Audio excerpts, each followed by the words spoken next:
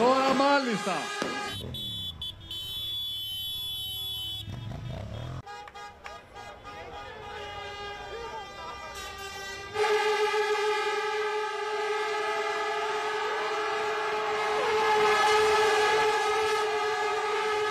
Όμως φίλες και φίλοι, προσέξτε. Αυτή η πολιτική κυριαρχία δεν είναι συνταγή αλαζονίας ούτε λευκή επιταγή. Αυτό το οποίο θα ζητήσω και πάλι από όλα μας τα στελέχη είναι να είμαστε προσγειωμένοι. Οι πολίτες έχουν πολλά προβλήματα και απαιτούν από εμάς να σκύψουμε πάνω σε αυτά τα προβλήματα και να τα λύσουμε. Και σήμερα, σήμερα είμαι πρωθυπουργός όλων των Ελλήνων και εκφράζω και τις προσδοκίες όσων συμπολιτών μας δεν μας στήριξαν.